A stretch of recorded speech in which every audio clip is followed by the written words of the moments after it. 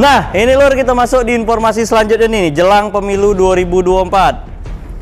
Jelang pemilu 2024, Polres Tanjung Jabung Barat melalui kepolisian sektor Polsek Betara melaksanakan sosialisasi pemilu damai.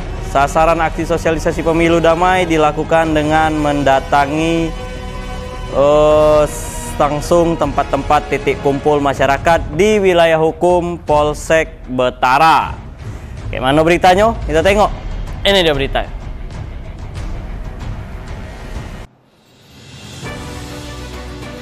Untuk menciptakan pemilihan umum atau pemilu serentak berjalan aman, Polsek Betara Kabupaten Tanjung Jabung Barat melakukan sosialisasi pemilu damai.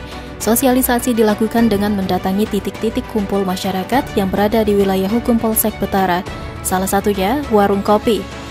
Kapolsek Betara Kabupaten Tanjung Jabung Barat AKP Dasep mengatakan, Sosialisasi ini dilakukan untuk memberikan pemahaman akan pentingnya proses demokrasi untuk berjalan sebagaimana mestinya, tanpa adanya kegaduhan mulai dari proses hingga pasca pemilu berakhir, akibat adanya perbedaan dalam pandangan politik di masyarakat bawah.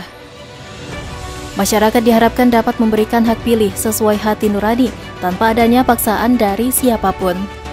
Dalam memberikan hak pilih, masyarakat diimbau jangan berdasarkan politik uang, agar terpilih wakil rakyat yang benar-benar memperhatikan kesejahteraan masyarakat. Hari ini kami melaksanakan sampang, tepatnya di desa Sentang Jaya bersama masyarakat, mengimbau kepada masyarakat agar menggunakan hak pilihnya di pemilu 2004 nah, karena itu menentukan nasib bangsa ke depan.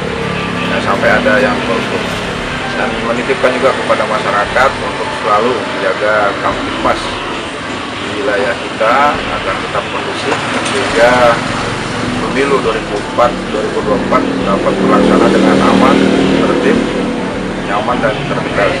Ya. Khusus para bacalek yang akan bertarung di wilayah Betara juga diimbau untuk dapat menjaga ketenangan dalam mengikuti tahapan pemilu sehingga tidak terjadi pelanggaran juga kepada masyarakat yang terlibat menjadi tim sukses pemenangan agar tidak terpecah akibat perbedaan pilihan. Surya Kurniawan, Cek TV, melaporkan.